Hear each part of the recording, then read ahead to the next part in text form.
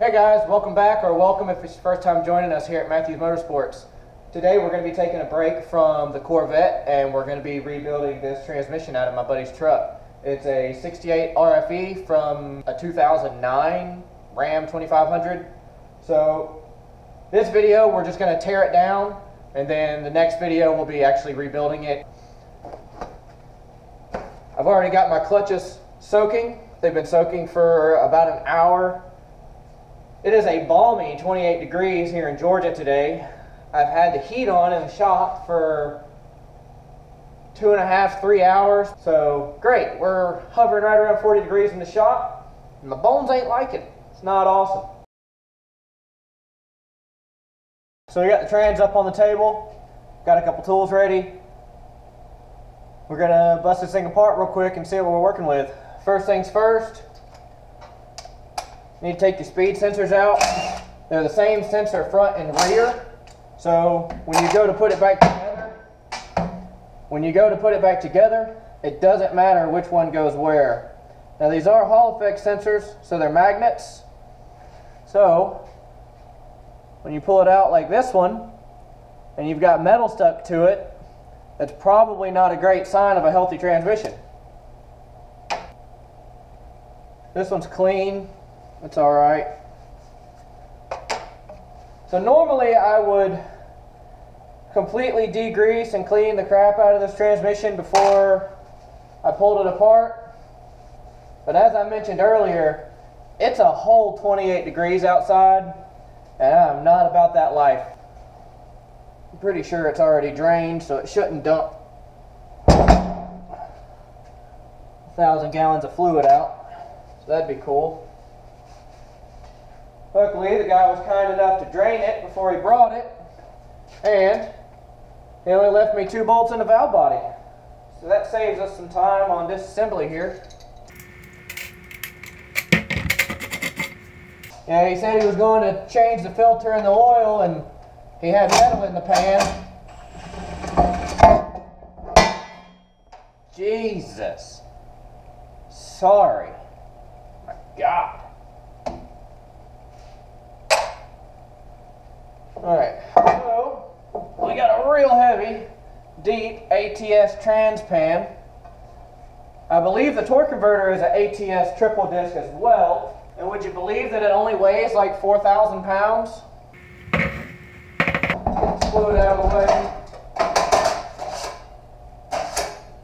I really like using a drywall knife to scrape my fluid.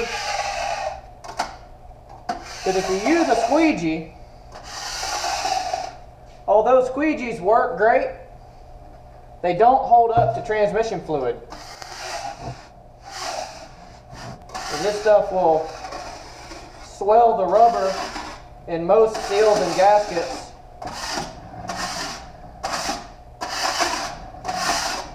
And most squeegees are not exactly of the highest quality as it is. Up next, we're going to break out our T25 knock this filter off.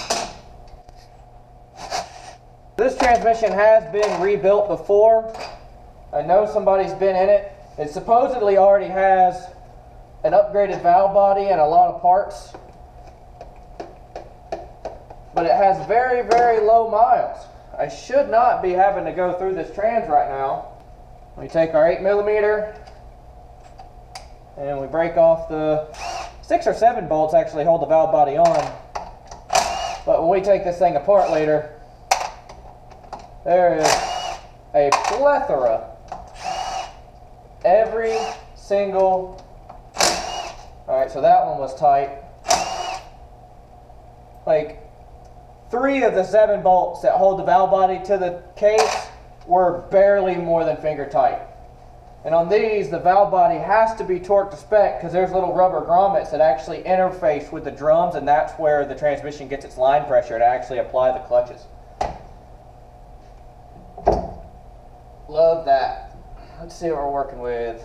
So, rebuilt transmission. They didn't change the gasket on the pack connector.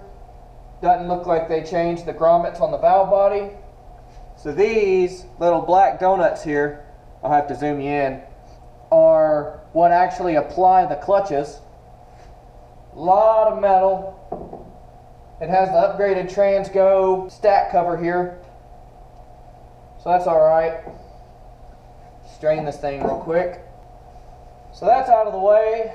Let's get this screw-on filter off and see if it has the billet piece. Hopefully it does. We're actually going to be reusing these filters because they're brand, brand new. He just put them on before he found the metal in the pan. So, going to be nice and ginger careful. Try not to dent or mess them up. Plastic. Just a real quick word of advice, guys. Number one rule of hydraulics. Oil your O-rings. Now we get to take the pump cover off. This guy. So you've got a snap ring that holds it in.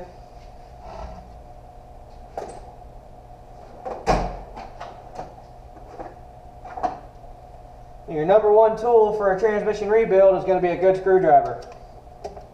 It's crazy, but it is what it is. Now all my snap rings, every snap ring for the transmission goes on the trouble tree. So I can keep up with them and keep them in order and know which one goes where.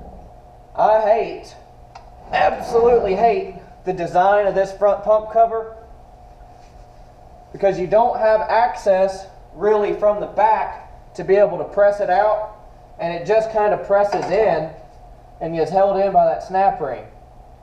So we very, very carefully come through with a screwdriver and just barely get it started without deforming the metal. It's This is a pain in the ass and I can't stand these things. This one's actually moving pretty easy which means they probably didn't replace the O-ring when they did the rebuild. Alright, so that's off. Nice and clean. Go ahead and pull this O-ring off and get it in the trash because we actually replace that. Place every O-ring, every seal, every gasket. We're going to be changing that front pump cover uh, bushing as well. So now we've got our pump exposed. You know what, let me lower you down.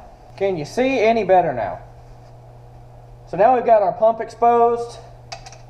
It's held on by, I want to say six 10 millimeter bolts. Pretty quick and easy to get off.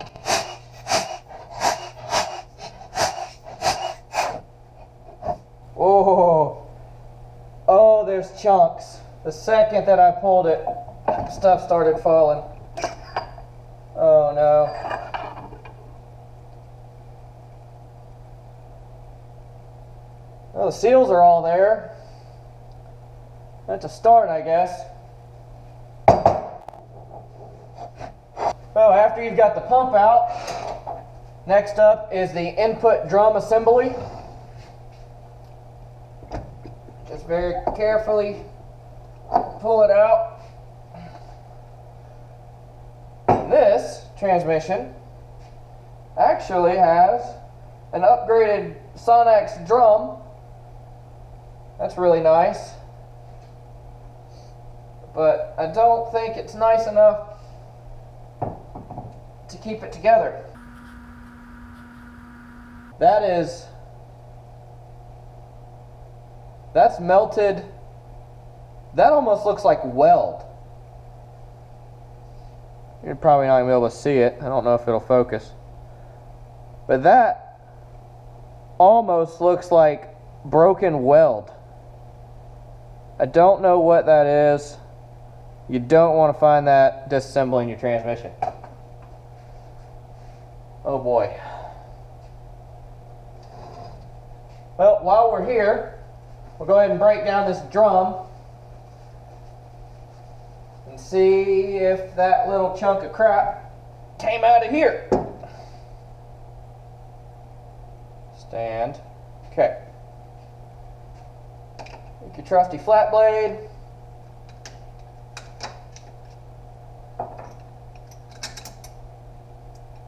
I said, snap rings go on in order.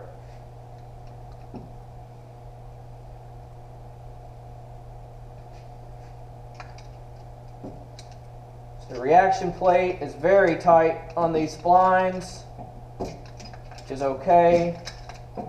A little tighter than usual.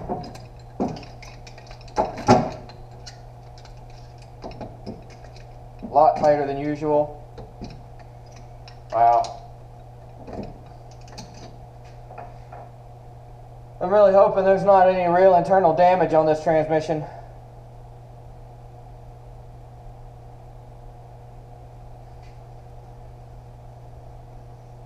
Reaction plate looks okay, but there is there is no clutch material left on these at all. These are completely ruined. They're dished up, they're cupped, completely ruined. Wow.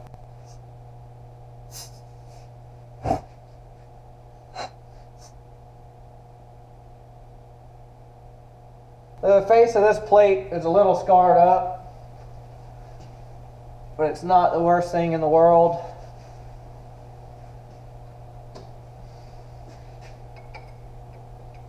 Nothing a little sanding disc.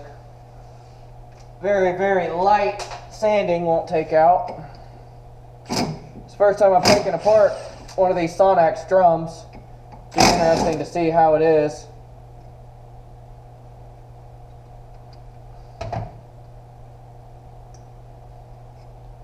Really got to get better way to hold these things. Matter of fact, I have an idea. I'll be right back.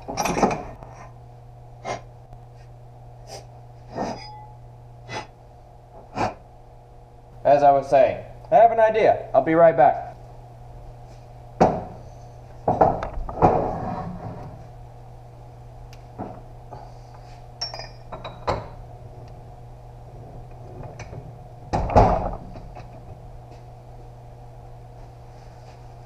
Check that out. So in lieu of drilling a hole in my table, I set the torque converter up and put the input drum in the torque converter because that's where it goes. In the transmission, it interfaces. Jesus.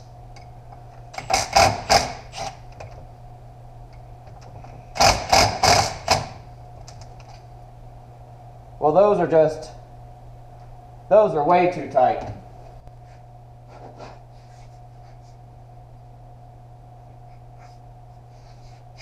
I'd be willing to bet those want about half the torque that they were put in with. If your hard black ox bolt feels like it's yielding, you're over torquing it.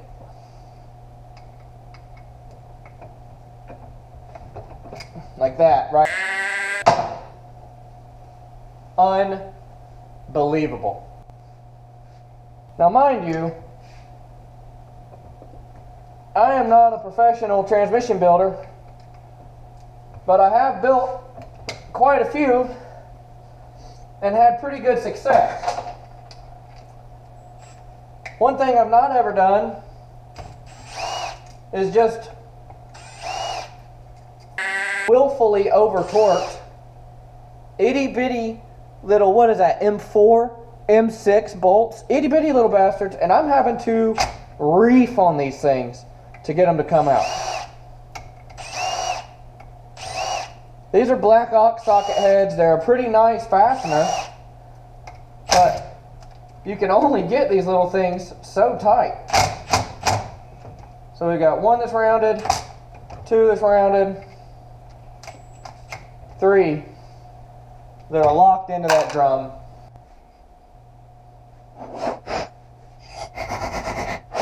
Oh, no.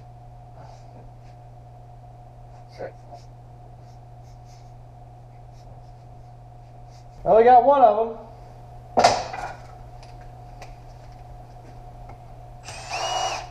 Straight in the bin.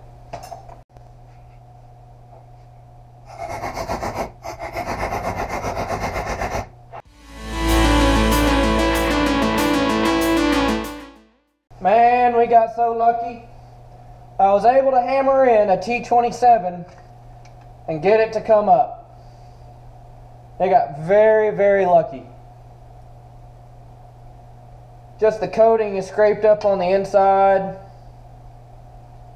Crazy. Just a shim. All right, so here's your underdrive or your overdrive. I. These all actually look really good. Really, really good.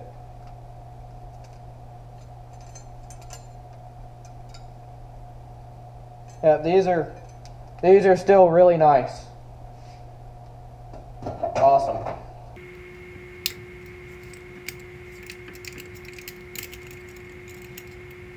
I'm not sure I'm sold on this whole Sonnax ring here.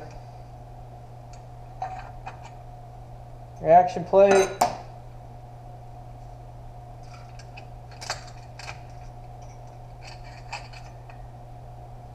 Yeah, the clutches are coming out really nice.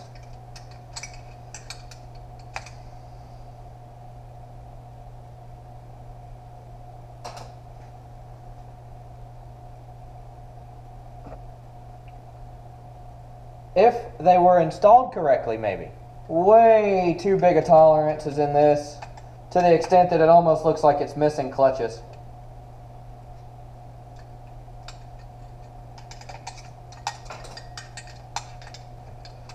This would be the reason your truck won't drive, Zach. Here's your problem, buddy. Transmission's not even burned up. Now, that front clutch pack was completely boogered, completely destroyed. But these, I mean, they're brand new. The transmission was very, very recently rebuilt. There's no reason for it to be on the ground, torn apart. All this that we're having to do right now should not be a thing. But while we're here, we're going to go ahead and replace all the pistons.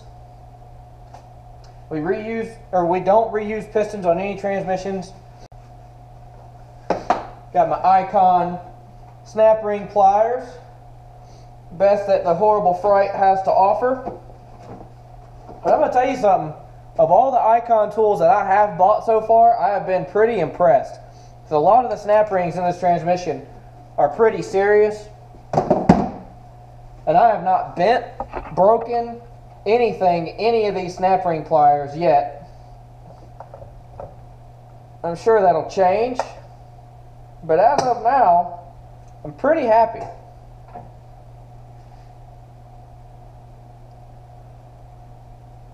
I don't remember if this one's tapered or not, but there are some tapered snap rings in these transmission that look I mean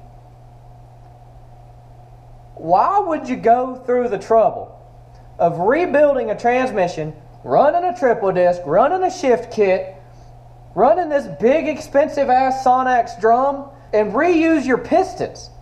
It makes no sense. Come on, guys. Looks fine.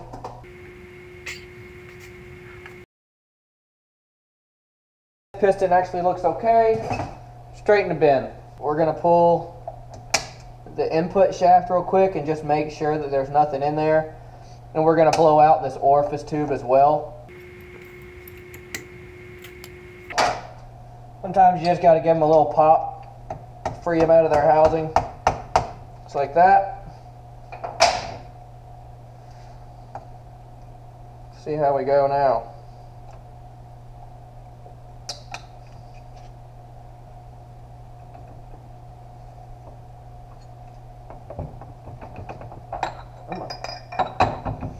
Not what I need you to do. Well, now what? This little hog ring is kind of a pain in the dick. It's got to come off. Okay. Then we can pull the input drum from the input shaft. No trash on the inside. Got the drum and everything off of the input shaft. Now we're going to get the snap ring out. If for some reason you do decide to do this at home, guys, be careful. These snap rings will bite the shit out of you if you're not careful. And I mean, it's not fun. When it does snap back down, it will tear you up. So, got our spring. Gonna get this piston down. This this transmission right here, I mean it is just she don't want to go. There it is. Alright. There's the input of or the inside of our Sonnax drum. Let's pull this seal out. And the number one piece of advice that I can give anybody, if you're doing a transmission, do not use the red shop towels. They will wreak havoc and destroy the inside of a transmission. So the seal is just completely, completely ruined on this thing. I don't get it. I don't get it. I'll just make a bigger mess on the table. Sure, that's fine. Well, we've got a second ring in here. Ruined. But I said this is going to be a teardown video, so I'll put all this to the side for now. We'll get all this cleaned up. And then on the next video, we will actually start rebuilding all of this. We're going to pull next section out.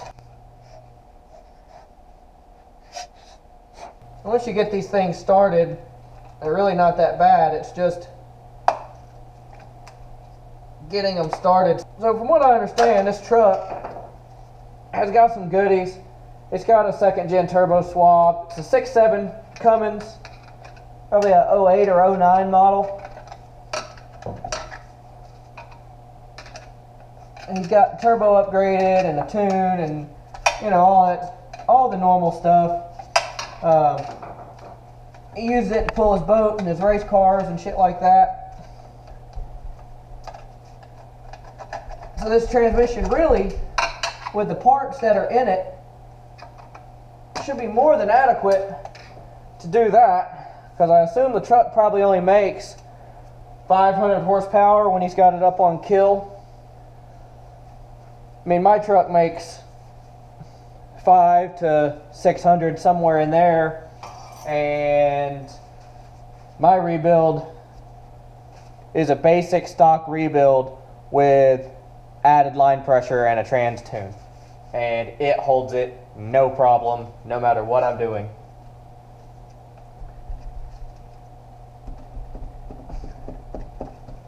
Ginger carefully convince this dude to come out like that. Let's get in here and see what we're working with.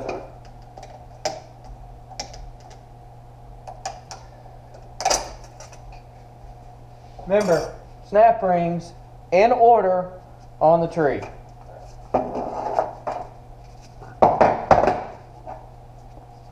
Okay, reaction plate. That clutch is worn pretty badly. Also worn really badly. Yeah. This was not a happy transmission.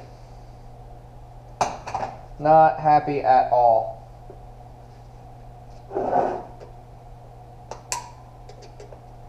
So this spring pack here is under pressure, but it's not that bad.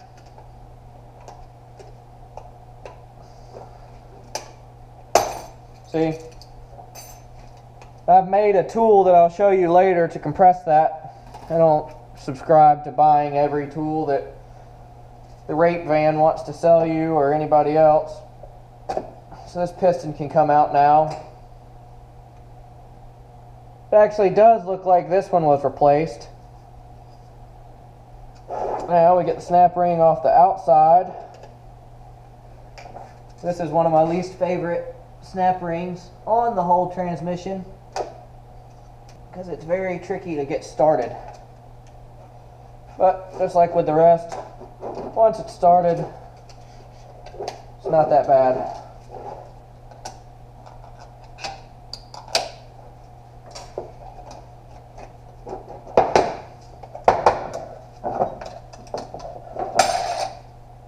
Okay.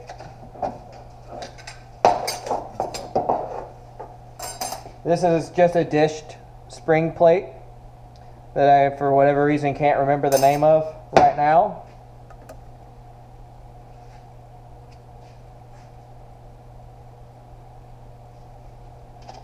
We have another piston in here.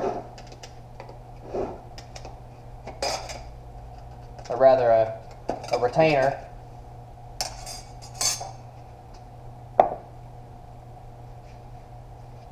see, I think this is ready to come out. Yep, just like that.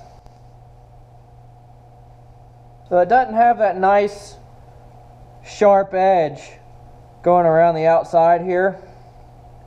Leads me to believe that this was reused as well. But it's hard to say because it's very clean and dry on the inside. Now, normally I rebuild these as I go.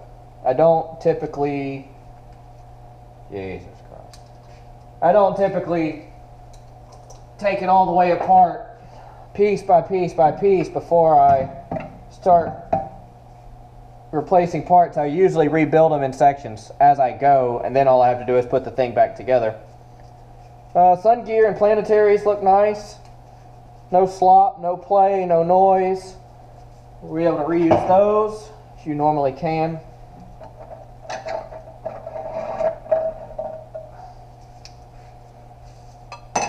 Action plate worn clutch, bad, well the steel's fine, but the clutches are just destroyed in this thing. The camera's probably not going to see it, but I mean these clutches have very, very low miles, and there's just no grooves left in them at all. They're just, just, just ruined.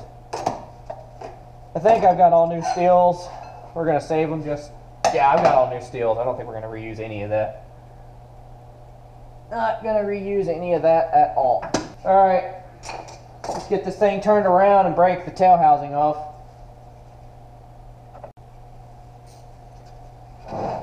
So, Thor himself put this tail housing on.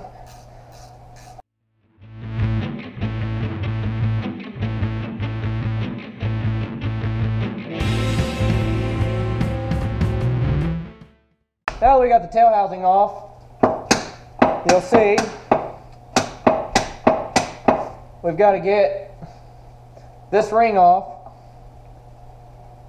Then we can pull the last output drum from the inside of the transmission.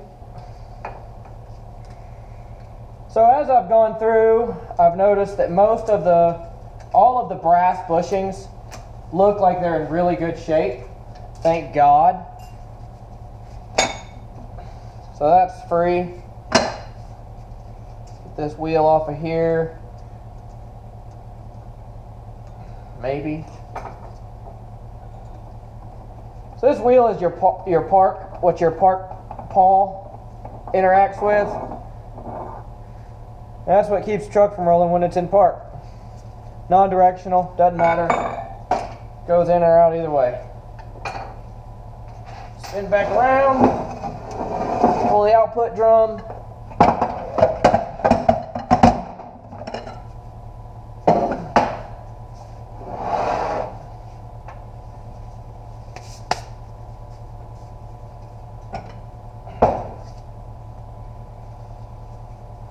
See what we're working with here.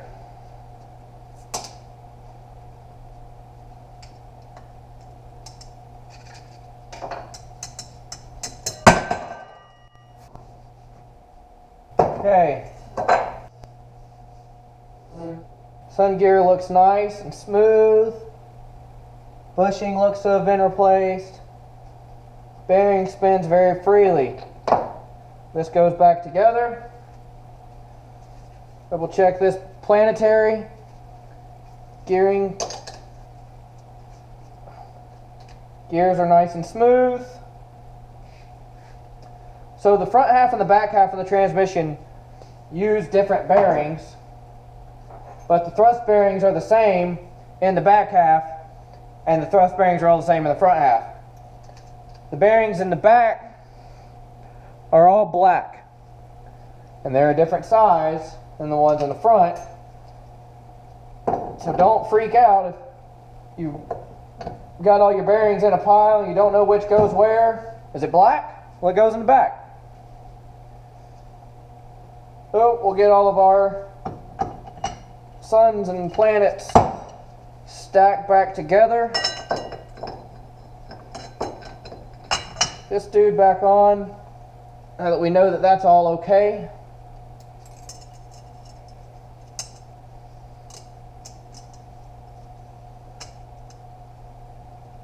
And this doesn't come back apart. This is a done, completed unit that I'm happy to reuse. I guess I should say all the bearings in the back are not identical, but if it's black, it goes in the back. If it's silver, it goes in the front. It's just an easy way to know which is which. Get the last clutch stack out, make sure it's healthy, or assess the damage, whichever comes first, but we have to change how it's set up real quick. So for tearing apart the rear section, and also for rebuilding and actually assembling the full stack when I put it all together, I take the 68 RFE case and I set it on this shell of a 47RH case because it's already got a pilot hole in it for an output shaft and it really works well and it's nice and stable. Grab this guy, set it right here.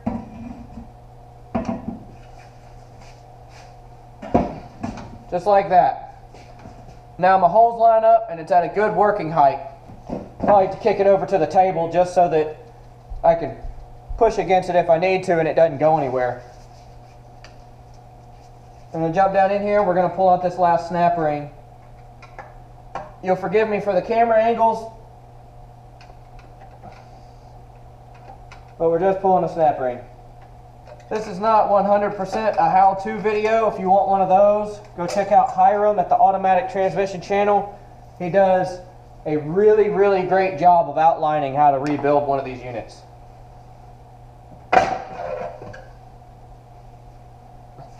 There's our output drum.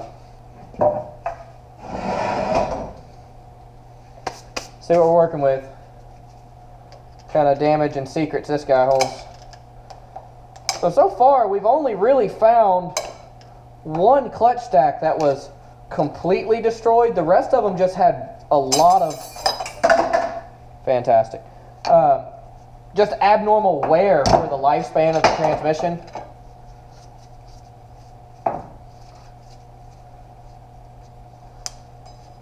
Let's see what this guy looks like. I mean, all these look great. Those, that's what you want your clutches to look like. If this was my personal truck, I would reuse these. I would put this right back in the transmission and send it on its way after I change this piston. But it's not my truck, and that's not what I do to customers. Every customer build, get all new parts all the way through. The only thing that I'll reuse is the planetaries. And I have absolutely no problem whatsoever with reusing uh, bushings if they look like they're in good shape. So this is a retaining spring for this piston. There is a two-piece collar. See if I can get you an angle where you can actually see what we're working with here. Can you see the split right there? There's a two-piece collar that retains this. This is the biggest pain in the ass rebuilding this transmission. Everything else is really straightforward. So for this operation, I've got a piece of 6-inch thick wall pipe. I set it down in here, and you kind of want to get it centered so you don't deform this spring at all. especially because I don't have a hydraulic press or anything fancy like that. I'm just a dumb redneck, so I get to use Bessey clamps and the edge of my table, and it's never let me down yet. Now, in other transmissions, there's other options. You can use a car lift to set it down for some, and you know, it really is application dependent. But all you got to do is depress this thing a little bit. It doesn't take much. And once it starts to drop down, that collar can move freely. You get it down just low enough on that piston, and that collar will click out of there. If you can get your stupid sausage fingers in the hole. There's your two-piece ring. It is stepped. It has a step on the inside that interfaces with the race on the transmission.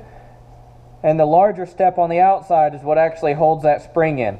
And when you depress that spring, it relieves the pressure off this and it's able to slide out.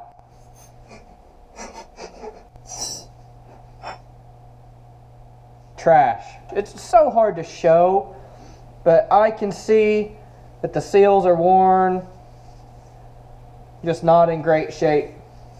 So there's our teardown of the output drum, the removal of the spring, kind of a quick how-to. I am not the end-all be-all of how to do any of this, but I know that I've built transmissions that work and that last. So we're going to move on. We're going to tear apart the valve body and the pump, and then that'll be the end of this video, and then I'll start rebuilding. Okay, we're going to get into the pump now. See what we're working with. These are T30s. There are five. They shouldn't be terribly tight. Okay.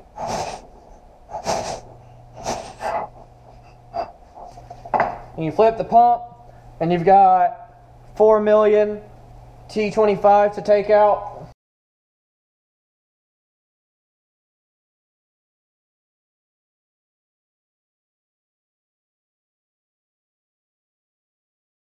Ten minutes later, pull the separator plate with the gears. Dump this guy.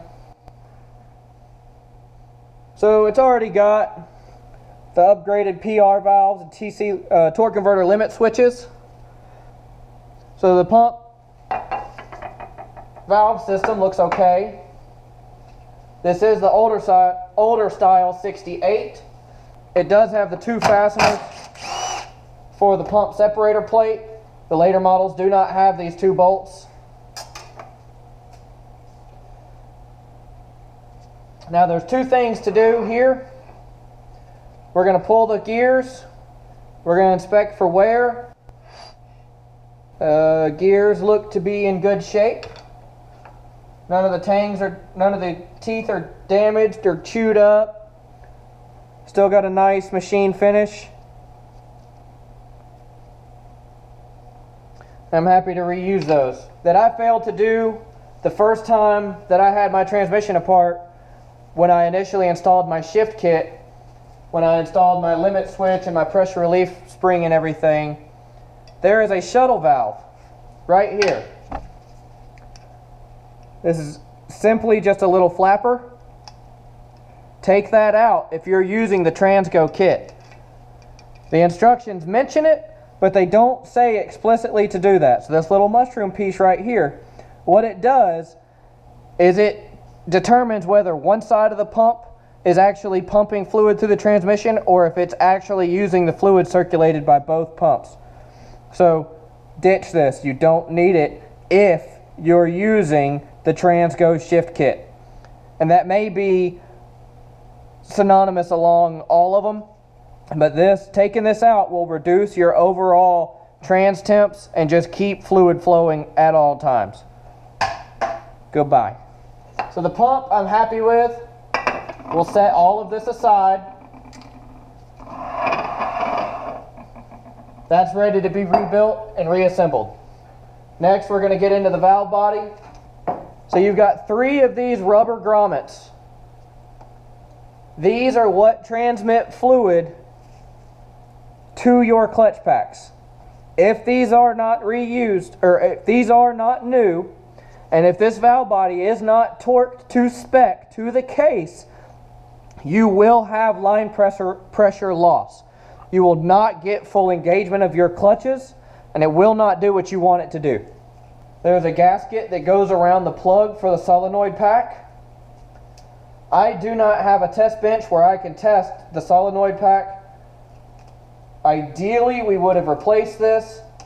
Customer didn't want to at this point, but this is easy enough to replace down the road and relatively affordable to do so. Not a huge deal, but make sure you replace this gasket or your shit's gonna leak.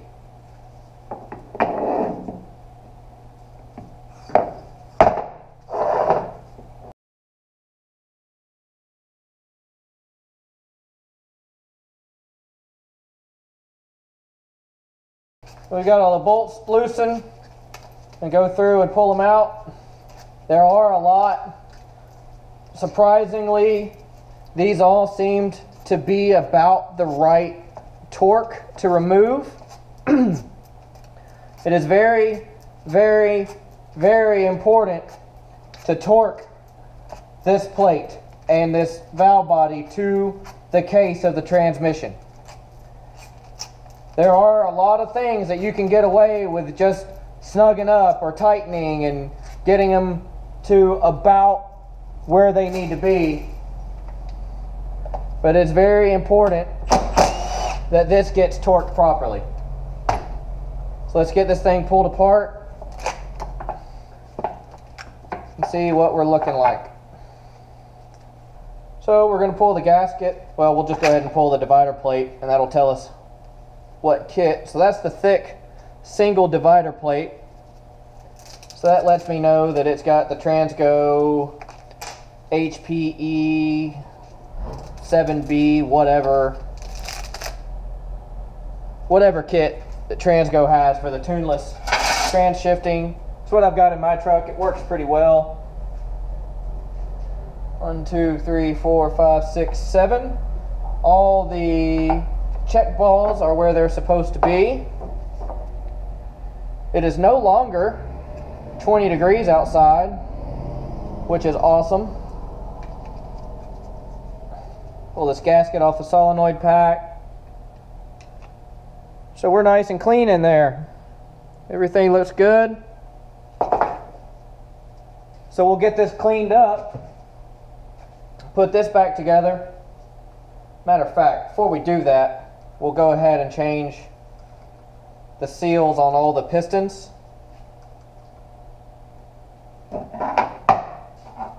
So we've got two, three, four, five, six, six or seven T25s along the side.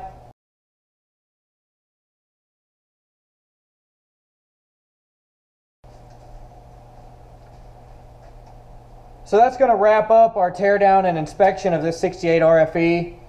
So we found a bunch of hokey stuff that I don't like, a lot of just poor assembly, uh, some, some worn parts, and just some bad overall practices. So in the next video, we're going to rebuild this, and I'll show you the way that I do it. It may not be the best way to do it, it may not be perfect, but I follow my torque specs, and I've, I've done several of these and had good luck every time. So Check back in when that video posts. Do me a favor, give me a like, share, and a subscribe if you like the content. Like I've said in the previous videos, this is going to be a very, very varied channel. Several different things going on. So I appreciate all the views I've gotten so far. Thanks, guys.